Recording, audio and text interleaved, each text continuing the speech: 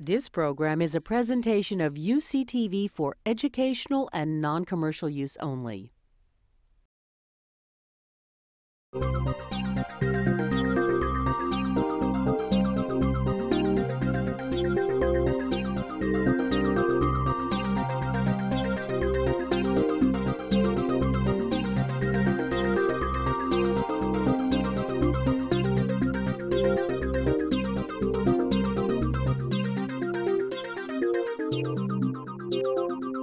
Welcome to a conversation with history. I'm Harry Kreisler of the Institute of International Studies. Our guest today is Stephen S. Cohen, who is professor in the graduate school uh, at the University of California at Berkeley, and he's also co-director of the Berkeley Roundtable on the International Economy, also at Berkeley. He's a senior fellow at the New America Foundation in Washington, and he's just written with uh, Brad DeLong, The End of Influence, What Happens When Other Countries Have the Money. Steve, welcome to our program. Good to be here with you, Harry. Where were you born and raised? New York. And looking back, how do you think your parents shaped your thinking about the world? Oh my God, that's a hard question. You told me you guys didn't play with easy questions. Um, they kind of applauded if you were reasonable and realistic, and didn't think or weren't all that impressed if you could cite the great religious authorities. Mm-hmm. And was there a lot of discussion about politics and the economy around the dinner table, or did that come later? That came later. And what what got you interested in in uh, pursuing uh, degrees in the field of politics and economics? Well, I was an undergraduate. Where did you do your undergraduate? Williams College. Aha. For young boys of good family at the time. They've subsequently now have women there. Mm-hmm. And um, it was a major in political science and economics, and I couldn't tell them. I didn't know where one ended and the other began. I've had a lifelong difficulty. in Is this economics? Is this politics? So I kind of did both. Mm-hmm. And then from from there, you went on to graduate school in? Oh, there was a little interruption. I was um, too early as an undergraduate editor of the college magazine. Mm-hmm. The dean called me into his office and said, giving you a choice. A, you're out of here today. I'm mm-hmm. throwing you out. Mm-hmm. Or B, you stop editing that thing mm-hmm. and go take a junior year abroad. And I said, Paris. He said, done. And, and what, what was he objecting to? A particular oh, article? yes. Or the general tone uh, of. Uh, First, there was the tone, and then there was a particular piece. Mm-hmm. Um, looking back, it was kind of obnoxious. it was about some poor guy there who taught a course on religion, sex and love in the Bible, among other things, and was up to be president of a small college nearby. Mm-hmm. So I wrote a little limerick. I see. So uh, it was off to Paris. Jointly signed with the daughter of the chairman of the board of trustees of that college, who mm-hmm. was an undergraduate at Smith at the time. Mm-hmm. Uh, so that, for that you should be tossed. I mean, it was just awful. I see. So, so did you get more discipline in in uh, uh, Paris, or was it rather you were exposed to the culture and I stayed with it, it, I don't think it was more about discipline so much as exposure to the world. Mm-hmm. And of all places to think about an economy, France um, never accepted the kind of economics we mainstream here. Mm-hmm. The difference between the government and the private didn't make sense to anybody. Mm-hmm. That the government was the referee. No, the government is the partner of everything and everyone. So, so The uh, state, not the government. Did, did, that- did that experience give you a focus so that you now really kind of had a sense of, of what you wanted to do? Well, it didn't give me any focus. I really had a great time. I see, okay. So much to see and do and learn. You had to learn about eating. You had to learn about art. It was just endless. And um, when I got back, this one professor called me and said, "And what was your project?" And I said, "Um, um, um, um, um, oh, yeah." Um, I, I started looking at um, French economic planning. I see. So he said, very good, write a paper about it. So I did. Um, and then I went off to graduate school. First, I applied to law school a few times. and, um, and the Harvard Law School has that catalog, the, f- the Facebook, the pictures of the incoming class. If you look under Cohen, not only Cohen, Steve Cohen, because a few of it, there's one photo missing. that was me. Yeah, I see. So you And- got accepted but didn't go. I actually wrote a stupid letter. You know, stay a wise guy kid. You know, I look upon uh, entering the Harvard Law School as a symbol of my own total defeat in life. I see. I see. and I, And they didn't take kindly to that, I guess. oh, they care a lot. Yeah, I see. I'm sure they were not in the least bit disturbed. Mm-hmm. And because I applied the year after and they admitted me again, and I didn't go again. Mm-hmm. and then I went to the London School. And, and focusing on Well, uh, politics and the economy. I yeah. did it. Yeah. and they had a you might call it a program where you could do both so i did and i ended up doing a thesis on French planning. french economic planning you see you, the littlest they stick to you mm-hmm. And and what what what was it? Just to be clear about this, what was it that led to this focus? You think that experience, junior year abroad, And the- then you found this whole interface between the two realms uh, very Make It significant. sounds so noble. it was that experience and the need that afternoon to have a subject for that professor in, in one in one in, in, half an hour. So I there I had a so I kept going, and that was um, in those days a thesis at LSE was well the idea was you'd write a book, mm-hmm. not a, an article or two articles that mm-hmm. shows you can play the, do all the necessary um, tricks. No, he mm-hmm. wrote a book. So I wrote this book, and it came out uh, at Harvard Press called Modern Capitalist Planning, or something like that. Ah, I actually have it. Modern capitalist planning, the French model, the French model, Yeah. right? And and it it what what did you learn in in the writing of that book and and and all the research entail? I mean, did did it raise your raise you to a new level in seeing this interface? Well, at first, it was all about the interface. Yeah. the state, business, the economy, and where it's all seen as one. Mm-hmm. And I started looking around the world and countries making important changes, rapid growth, changes in their, where they go, Japan. Um, and you see the enormous role of policy, of the actions of the state in steering it and enabling it. And that, you know, in a funny way, set me up for an understanding of Japan. When there used to be those big arguments, there was no argument Japan was doing well. This would be now in, in the 80s. and No, the go- 70s and the 80s, yeah, 70s and yeah. 80s. Uh, Japan was definitely doing well. Th- This was unquestionable, fabulously. And um, there was a whole, I'd say a majority of American economists saying, well, the, the, the state's too involved. They, they should get out of everything. And no one in Japan thought this made any sense whatsoever. No, it makes no sense. Mm-hmm. And it was easier for me to understand what the Japanese thought they were doing because I thought of it in French, mm-hmm. as opposed to thinking of it in Anglo-Saxon, as the mm-hmm. French would call it. Um, and that kind of carried through in most things I have done. Mm-hmm. Now, this raises an interesting question because what, what we've learned here is that, that you wound up going abroad to see this connection, and, and that turned you, uh, in essence, into a political economist, I guess one would say, which is not something that grows naturally uh, in the American environment. No, you find us under glass in a few museums.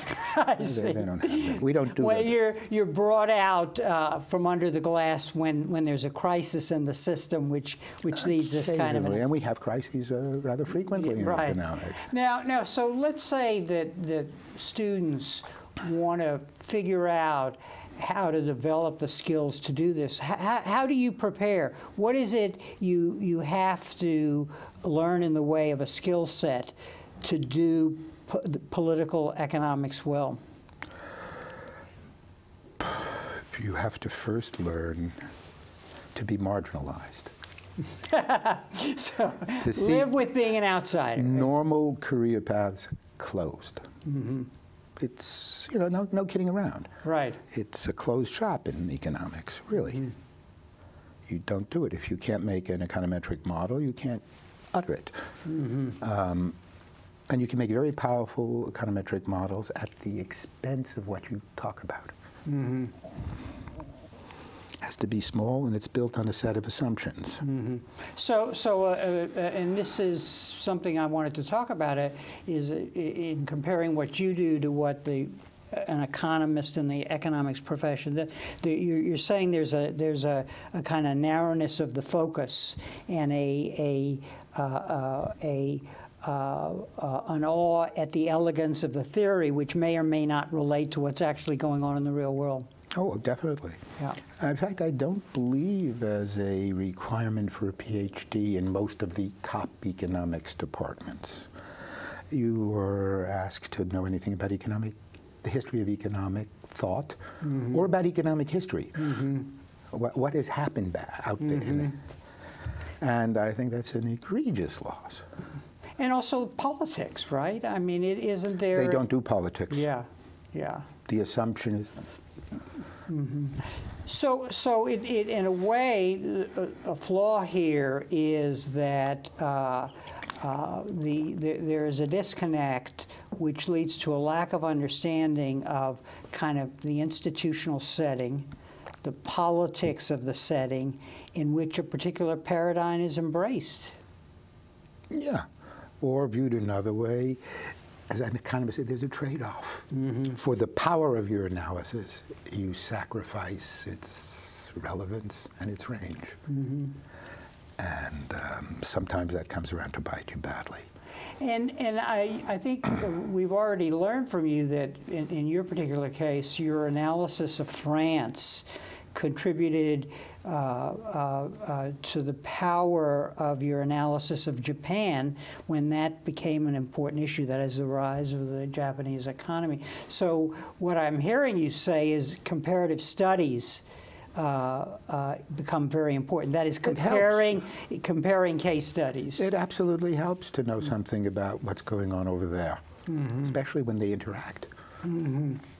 Now, you, you are a co-founder and a co-director of the Berkeley Roundtable uh, on the international economy, which Brie, like the cheese. Brie, like the cheese. Of course, it would have to be because of that junior year. I mean, that was one of the most of those years as a grad student also. Right. So, so what, what then, and, and talk a little about that, uh, that group here at Berkeley, because it, it became uh, important for the campus and internationally in sort of understanding the trends in the world where political economy was really important as we became less competitive and the rest of the world became, or some parts of it became more competitive. Well, that's another one of these things. Uh, you know, life's about a certain amount of the accidental. I had spent two years in New York previously, sabbatical and some other, I don't remember what, some fellowship. and um, most of it I spent hanging around the Institute for Humanities at NYU, where they gave me this marvelous office, and there were some interesting people. Yeah. Did you read a lot of novels, or what? Uh, Uh, the novels were the nice part of it. So Yeah, the rest okay, was okay. The, the studies of the studies that criticized the studies of the Mm. novels were a little not my favorite. Um, but I came back. When I got back, I what am I going to do? And it seemed, what do we have here? The great outdoors. California, you mean? Yeah. I'm not too good at that. Then there was strange and exotic sexual practices at the time. Well, uh, I lucked out with an absolutely lovely and beautiful wife, so I, you know, I wasn't going to be good at it anyway. So that left technology, which I knew nothing. It was fun to learn a little, and semiconductors go into everything, everything. So all of a sudden, if you follow the chip, you get wherever you want to go. And this was uh, around 1982. So I met up with uh, John Zysman in political science here, and very shortly thereafter with Laura Tyson in economics. And we said, let's work together. So we didn't found an institute. We said, let's actually work together. Um, we get some outside dough, and we co-run it. We don't need a great stamp of approval from the bureaucracy. We just cooperate, which is unusual on a campus, exceedingly so. And that has held for, oh, these 25 years mm-hmm. and change, more. Mm-hmm. Um, and we started, well, what was really going on was the, the Japanese challenge to the United States in advanced technology, as well as in manufacturing. Mm-hmm.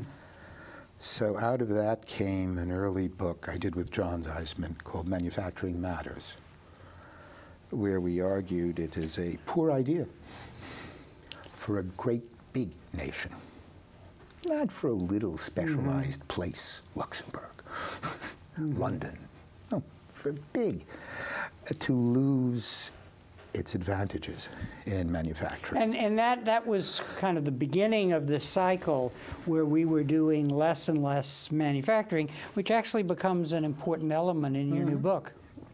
Yeah. And we, you know, one of the keys was um, a lot of Japanese firms were terrific, Canon, you know, but there was a heavy role of the Japanese government pushing this. And our argument was, you know, this is the way it's being played. So maybe we ought to play it intelligently in these terms. We didn't. The United States, you No, mean? we yeah. didn't. Yeah. No. Yeah. Let, let's now move to your book because a lot of these uh, themes we've been talking about come together here. Let me show it one more time. The end of influence, uh, what happens when other countries have the money. So, why did you and, and Brad DeLong write this book? Well, again, it started less deliberate. I find much of my life is uh, lacking in a certain amount of strategic planning. That we were going to do a piece on um, sovereign wealth funds, the rise of these enormous tills, Pots of money huge, that are controlled by, we should by explain. the government. Right. directly or indirectly, but government controlled large amounts of money. It's a little different than what had been previously the case. And the model for all of these has always been multi exemplary Norway. Norway good. Norway's Kuwait done right. Because Norway had uh, Oil. uh, oil. and- Oil money piling up, Yep. and they learned something. If you just dished it out to everyone in North, you're going to have an inflation.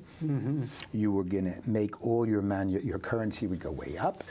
All your normal business would be um, destroyed in terms of competitive, and you'd have a mess. This used to be called the Dutch disease. Because the Dutch had gone through this experience in the 60s. They had some oil, they generated a lot of money, and they blew it all away. It um, did them no good, the opposite. So the Norwegians simply said, we're putting it all in a bank account offshore. Because you bring it onshore, it raises the, and we'll live on the interest. And, and the, the money is in another currency, the dollar in this case? It's invested abroad, Abroad, in other currencies, Okay. overwhelmingly, you know, large Oh, portion in dollars, dollars, and okay. all over. And they invest it the way the California retirement system does. Mm-hmm. Well, uh, you know, They don't own more than 1 or 2% of most com- and uh, what they invest in. They have some political things. No bomb makers. I think no cigarette maker. You know, they're good. Right. Good, good, good. Good Scandinavian good, good, principles, Good, good, yes. good Norway. Now, if all the investment funds were like this, it'd be not at all, Mm-hmm. certainly not even a problem, not even a question. They're not. Mm-hmm. Um, you have a very large uh, Russian Mm-hmm. Sovereign wealth fund. From Now- oil also. yeah, yeah, come on. Mo- There are two, two, two sources of these. Mm-hmm. There's the, the mineral, the oil, which are a bunch of the you know Persian Gulf and oil countries, and Russia in a big way. And then there are the Chinese manufacturers, the, the Asian manufacturers, exemplary uh, China, um, which has, you know, north of $2,000 billion In dollars. yeah, mm-hmm. say, yeah, about that. Oh, North of 2 trillion in dollars, sitting there in various tills. It's mm-hmm. not necessarily a sovereign wealth fund, but mm-hmm. under direct and indirect government control. How do you use it? Well, if you were the Chinese government, you'd try and use it strategically. I mean, one thing is you just put it out there and earn a return, and people aren't index funds. Mm-hmm. Um, Another is you say, well, our mission here on Earth mm-hmm. is to um, advance the Chinese economy. Well, we got this enormous tool here. Mm-hmm. What do we do with it? Well, what we need, we could use some technology. Well, this may help us get it. And so we were raising some of these questions. Ooh, come to think of it, it might be political. Mm-hmm. If that president of the United States, whatever his name is, mm-hmm. makes no difference, starts doing things that uh, we don't like, mm-hmm. that hurt us, that irk us. What if the limousine that brings the Chinese bankers to New York to buy the U.S. debt every Thursday morning has a flat tire? Mm-hmm. In fact, what if we announce in advance we're going to have a flat tire mm-hmm. and not show? That might send the, the market down a thousand points. That the president may, maybe he has to think about us before opening his big mouth. Mm-hmm. This is a change. Is this not a change? So, so in, in essence, that what what came about uh, as these sovereign funds developed, especially in the case of the Chinese, was uh, really a change in in the power balance between the two countries, beginning in the economic realm.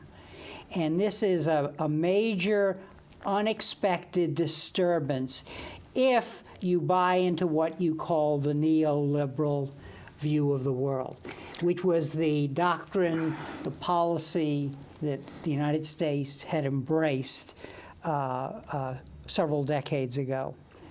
Uh, so the book moves toward a, a look.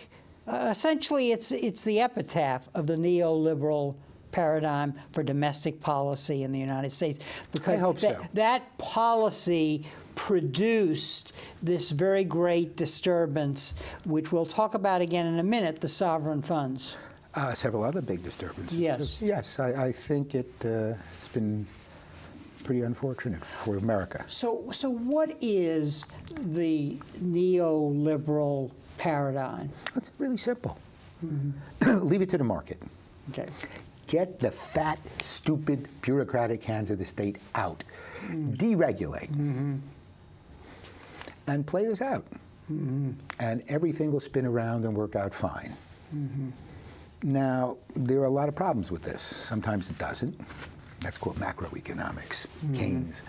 But also, what if the other guys are not doing it?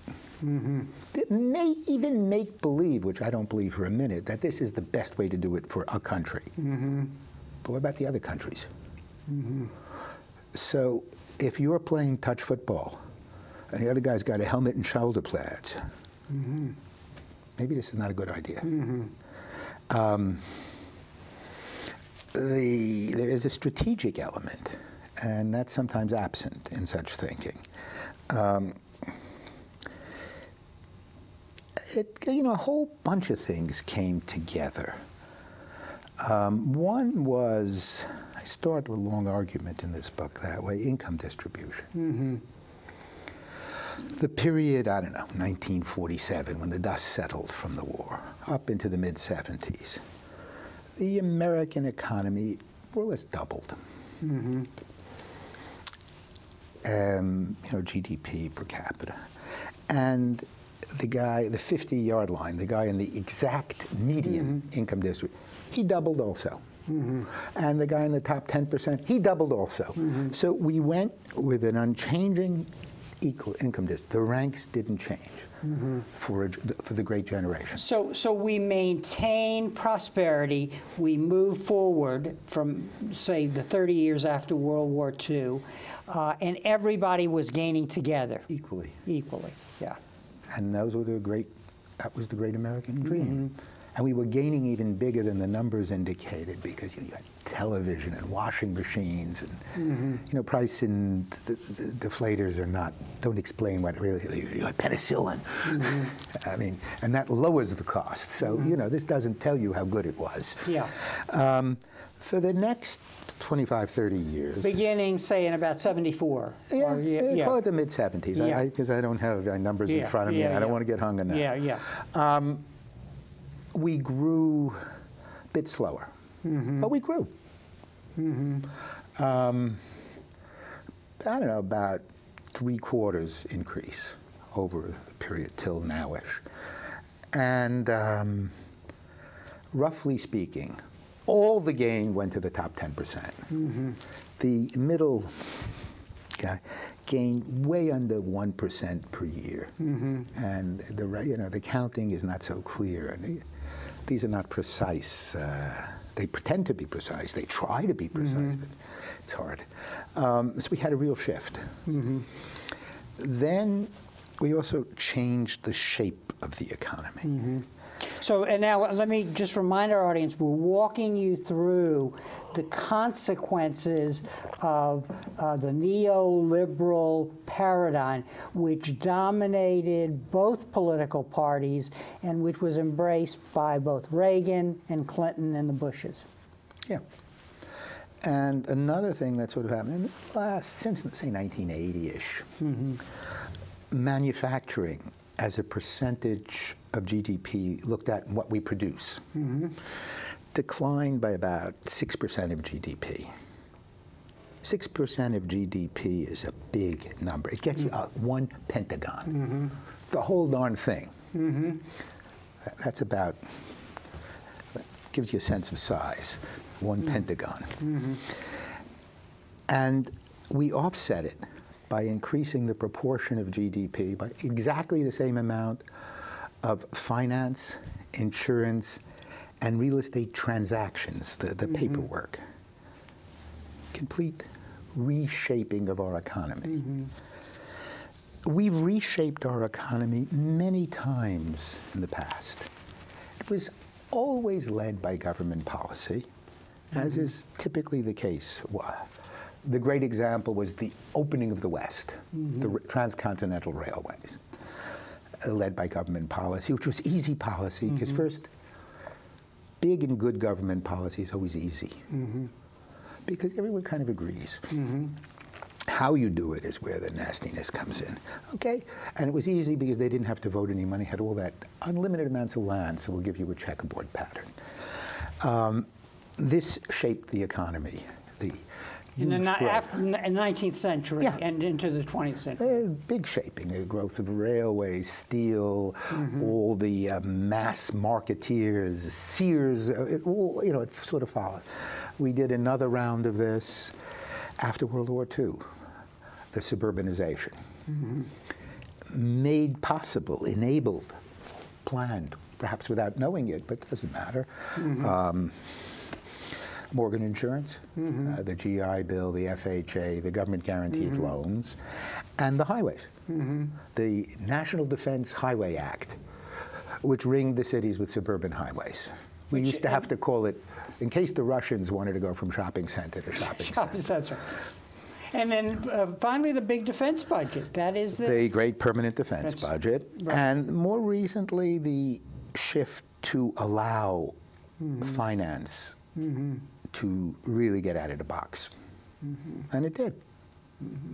And and the so so what you're suggesting is that uh, uh, as a political economist, uh, you can see that the embrace of a paradigm was in a way a, a kind of a, a, a, a statement of planning, which wasn't put out there for everybody to see, but but the, the consequences were it shaped our economy in the future. If you think about things this way, you'll Yeah. do things that way. Yeah.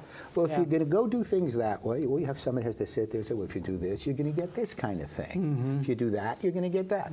So we borrow all this money from China. The average American family goes deeper and deeper into debt. Mm-hmm. Right. because his income's going nowhere. And we're consuming more and more. And all this goes through the banking system. Mm-hmm. So, So the, the banks are making a lot of money on everybody's debt as they go into debt. sure. Yeah. And, um, you know, on one side, it's pretty straightforward. The Chinese factory makes some stuff. Mm-hmm. Walmart gets it, puts it on the shelf. Done. Mm-hmm. But Real we simple. are not making that product, presumably, in theory. Yeah. Eh, or anymore, Yeah.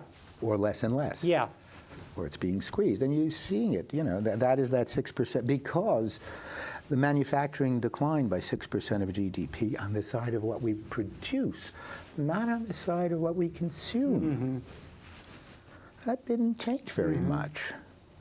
We still get the grotesque number of T-shirts, the cars, mm-hmm. the fuel. So it's just coming in. Mm-hmm. So that didn't change. It's not like manufacturing went away out of the earth. It went away geographically. Mm-hmm. Um, now, what we did with this borrowed money, what we put in place of the manufactured jobs, was our doing. Mm-hmm. We didn't have to do that. We could have put it into any number of worthwhile endeavors. Health. Or into energy technology. Uh, yes, for example. Um, we didn't. So, so in, in, in looking at this, what we, we, we embrace in a bipartisan way uh, a view of, of what our policy should be that, that decrees an unfettered market and a, I think you say in the book a fettered government.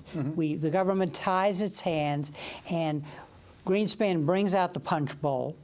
And uh, by that we mean the, you know, it's a free market, both globally and nationally. And you're you're telling us in uh, in this book and now that the consequences were over time greater inequality. Uh, if not a consequence, it, it, it it followed along with this, a a bloating of the financial sector uh, without our sort of consciously doing this. Uh, Yeah, and it nobody being, took a chart and said, "We're gonna have such Yeah, a-" right. But but it would, and then the third thing was the uh, helping, pushing along, furthering uh, the the Chinese emergence as an economic superpower because they became the place where products were made and they to protect their own economy they saved the money and began loaning it to us Yeah. as we spent more than we made. Anyway, it's more of an intimate embrace that nobody wants. The U- Let's take the U.S. and China. Um, we owe them two trillion bucks, maybe even more. Okay, they call up, they want it. We said, no problem. Do you want it in $100 bills or 20s? we'll fill an aircraft carrier with it and send it out. So there's no way they can get their money back. Um, there's no way we can pay. It's like 20,000 bucks per household. So there we are. We're stuck with each other. They need us because they've built their economy to be export-led. Um, were they crazy to do that? And they get this money they can't use. Now, they could use it. They could buy all their cars here. But this would uh, wreak hell on their auto and steel industries and so forth. They don't want to do that. This was a little the way Keynes explained the economic consequences of the Versailles Treaty. The French and British said the Germans are going to pay us back. And he said, How? Do you want steel? You want cars? No, no, no, no, no, no, no, no, no, no. We want. Um, doesn't work. Um, but were they crazy? And I don't think so. I don't think so. Their intention, their goal, and I think they realized their goal beyond their wildest dreams, was to learn how to make things. You had a nation of peasants, really poor peasants. I don't think Americans understand how poor a poor peasant is. Um, bowl of rice.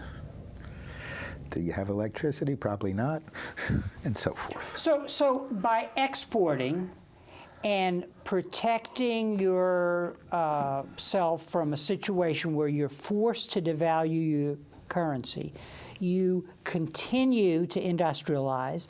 You're converting more and more of these peasants into workers, working in the city. You're producing more and more goods. You're learning how to manufacture. You uh, get to learn how to do it. Right. You, we're in a university. It's expensive.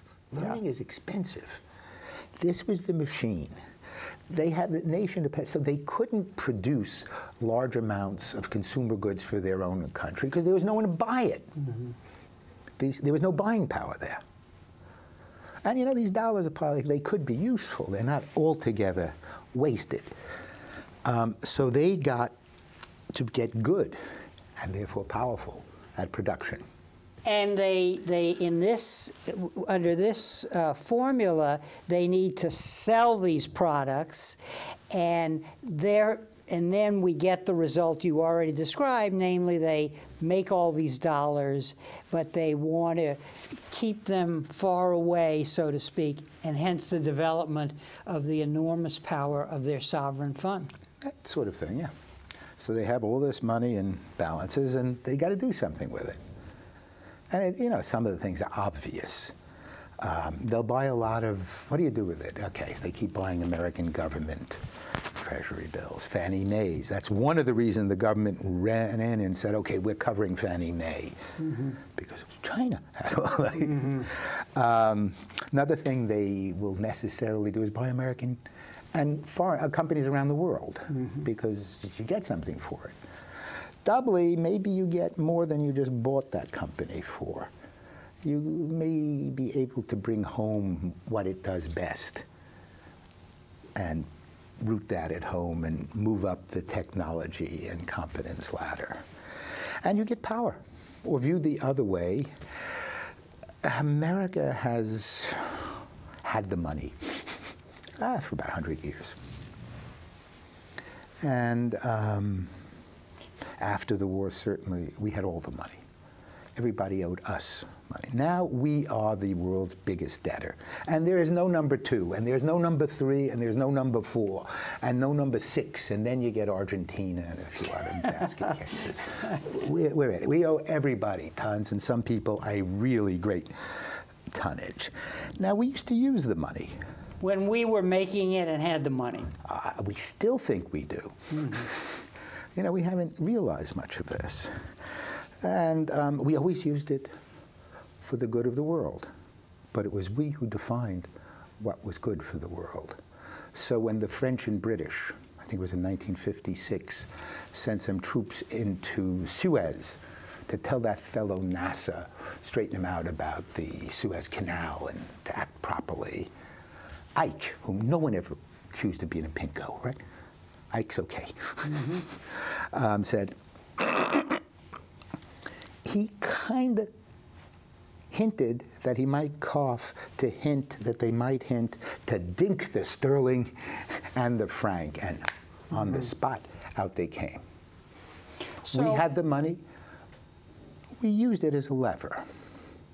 We used it to support the electoral pro- prospects of various parties in, in Italy, let's say, against other parties in Italy who we thought would be less good for the maturation of democracy, in which I think we were quite right.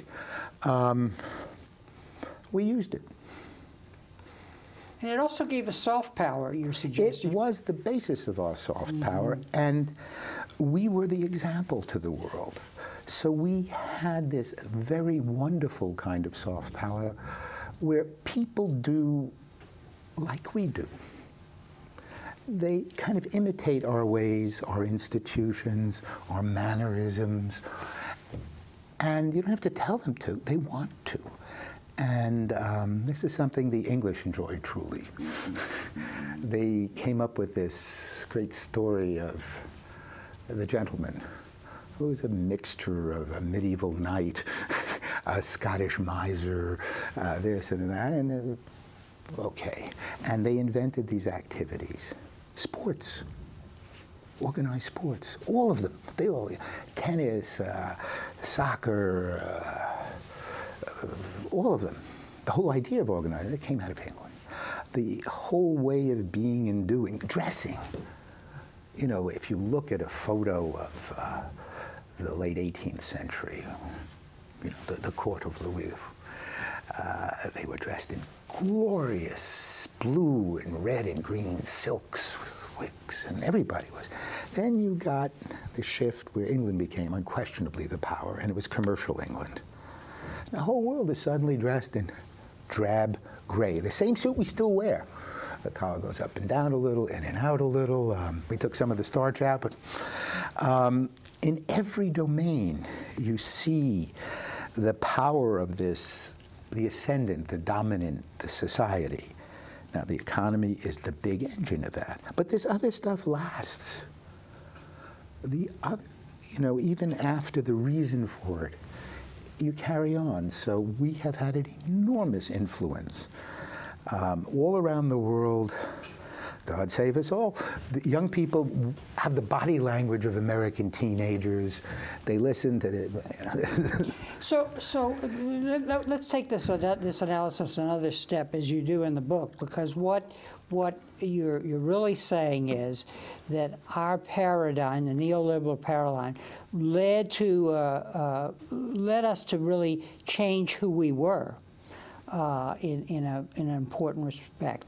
But it also led to a change in the balance of power between states and uh, the creation of these sovereign funds. And, and I think the next step in your analysis is to say, well, wait a minute, this is all coming about, and what is emerging is a different view of the relation of the state to the economy, especially in these places which are the holder of the sovereign funds.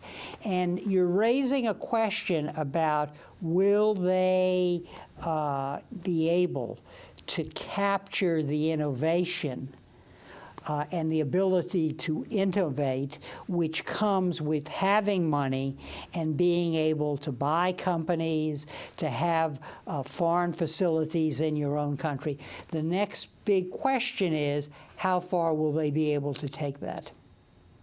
You're, I think you've got it. I think that's an essential question. Certainly, having the money helps. And you know, you and I form this clever startup. Oh, our investor comes from some Chinese company, maybe partnered with an, an American private equity thing, but the Chinese company is borrowing unbelievable amounts of money from the bank, which itself is borrowing unbelievable amounts of money from the Chinese government. So that's that same fund coming through a few stops, comes here. They invest in our technology, and they, our investor says, "Hey, we're going, go, go, go, go next. You need more money." You know, we could really do this well if we move, keep you guys here and forward thinking. We move some of the stuff back to Shanghai where we can get it cheaper, better, blah, blah, blah. And that's one very likely sort of thing. Um, also, what the next round of innovation is going to be, nobody knows. But yes, people do know.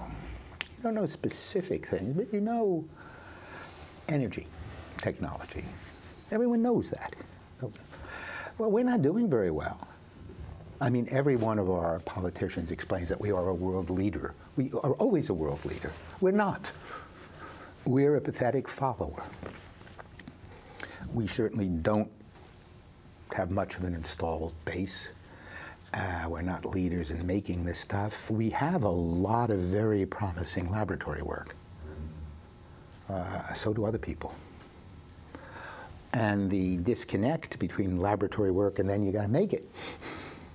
Whereas in internet technology, there's no making it. You can sell one product or a hundred million. It's the same. The costs are the same. You know, to produce one more copy of our software, and you can automate the click. You don't have to actually click. um, whereas to make solar panels, you got to make them and so forth. Um, windmills, tidals, whatever, algae. Um, so no, we um, could be, but thus far we're not. Will we be? We could. I think it's entirely a political question. And for that, I um, see every reason for a certain amount of choking, heartbreaking pessimism. Mm-hmm. And, and this, this takes us full circle back to your career in a way and where you started because you told us, well, I got interested in political economy, uh, the interface between politics and economics, and uh, what we're what you're now telling us through the analysis in this book is that we have to think differently about the relation of the state to the economy in this new global context, which we have partly created. And if we're, we don't, uh, we're going to be up a creek because, for example, in energy technology, the state is going to have to do something along the lines of what the Pentagon did uh, uh, in, during the Cold War in terms of setting the stage for us moving forward. Yeah. And my sense is that, well, you just said it, but, but let's explore this. Why are, uh, wh what do you think will make us adapt to this very different view of uh, the relationship of the state uh, to the economy. Because the state has to be, uh, you, you, say we can't do planning, and we won't do it because it's a, it's a concept that goes against our culture and our institute. Then what do we do? To prepare us for this world which we've created and which we're now losing in. Do you have an easier question? uh, we did a little bit of planning, maybe enough. As you said, um, we had this thing called the Pentagon. And the nice thing about the Pentagon was it was like brackets in economic thinking. You could think up to the bracket and after, but you're not allowed to think about what's going on there. It's off the table for economic thinking. And a lot of it was just a huge waste. I mean, a colossal waste. Some of it was vital to save ourselves and the world. And some of it, a small part, was America's industrial policy. We didn't call it industrial policy, you know, picking winners. We called it military policy. And this would be through jet planes, no. for instance, mm -hmm. commercial jet planes. Uh, I remember the Boeing 707 was the well, some of the Europeans used to argue that mm. the Boeing 707 was the K-135 military tanker with windows. Mm -hmm. And, you know, really was. And it came down the same assembly line using the same fantastic machine tools that could sculpt the Brancusi statue in 12-dimensional space with the big jet engines that had been developed huge cost and technology and needed special metallurgy. That gave us the undisputed lead in the sky. Satellite technology. Do you know of a guy in Silicon Valley who could put that up? No. You can't do those in a garage. Um, a whole raft. The internet. Its maiden name, as you will remember, was the DARPANet. The good folks at DARPA said, What happened if the Ruskies nuke Chicago? we have to communicate, right? They created a, a, a communication system with no central node or nodes. And then it grew um, computing. Everyone remembers the first computers filled a room 10 times the size of this and needed 50 people to change the bulbs. Who on God's earth would buy one of these babies? And that is the seed corn of the round of innovation that propelled our economy for a long time. It was the government picking winners. It's not so hard to pick winners if you, you know, some of these things, it's in that which particular model is a different story. But getting things going in that direction, yeah. Now, uh, let's talk a little about the Obama administration in its first year because uh, he was elected with a lot of hope about the way he could change things. And, and if we look at uh, uh his policy. I disagree with you. Oh, okay. He was elected less with hope than with desperation at what W. Bush and company had done to smash, to destroy this great country. And they did a hell of a job. I mean, you name the dimension from the big one, our role the, as the leader of the world. We became somehow the bad guy of the world. Our role as rich, we ended up with a beggar's bowl. Our role is let them see us. They saw New Orleans. They saw Abu Ghraib. Even the small things like environment, so to speak, but whatever it was, they destroyed it. Um, through a combination of ideology and pure cynicism. So yeah, people turned to this guy. Please, they gave him a Nobel Prize for being alive and being elected. I uh, for, for, for, replacing that. Yeah. Oh, please, please bring us back the United States we've known and loved. The world needs the United States. It's not sure it's going to get it. So if he let's let's accept what you're saying. If he was elected out of desperation, do are we seeing evidence that he can move us? Uh, in the area of recognizing some of the problems that you've identified, and uh, in in particular, the changing role of the state as it deals with this series of problems.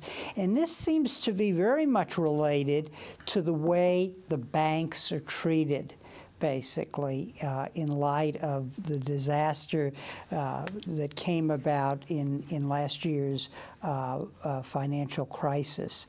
Uh, because, in a way, what you're telling us is that the, the banking sector grew from 14% to 21%, and with that came a lot of power to influence elections and campaigns and so on. Is that going to change? And what will it take to change that? Because it, it, would seem that there are two problems here. One is preparing for this future that is upon us with the development of the sovereign funds, where the state has to play a greater role. But the other is to, to uh, putting, uh, putting the banking sector in place, in its place. I think you've got it right. So why ask me? I don't know. Um, look, we did this health care reform. I cannot explain it to myself, let alone to a student. It's jujitsu. It's, it's, why is it so complicated? Remember, there are other countries on earth. All the others mm-hmm. have healthcare systems that work better than ours. All the rich countries.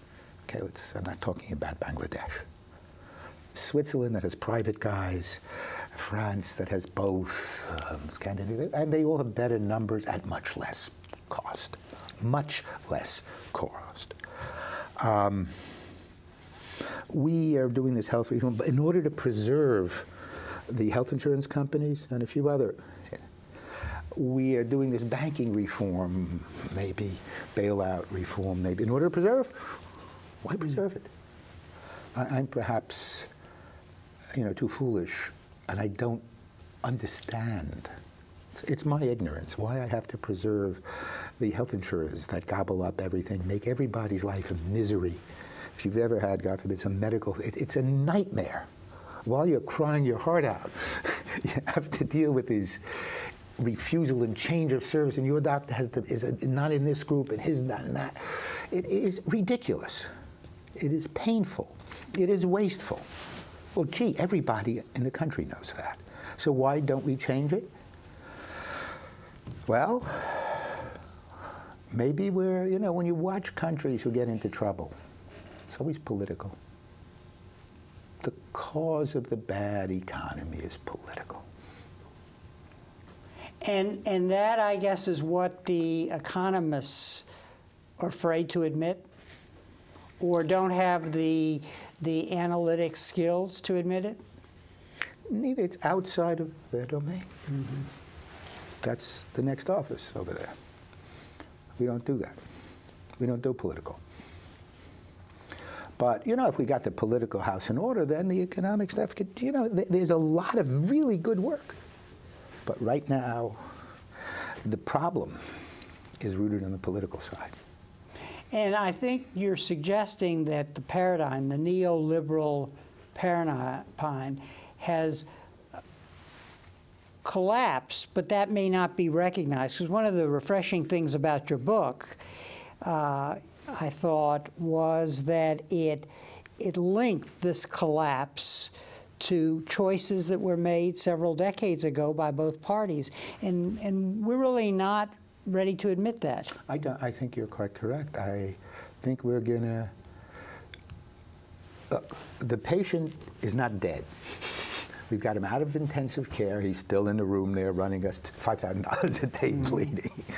We're gonna have a. Uh, it seems to me, another go at it. At the neoliberal, par- yeah. Uh, Look, look what's going on in, in the finance sector. Back to go.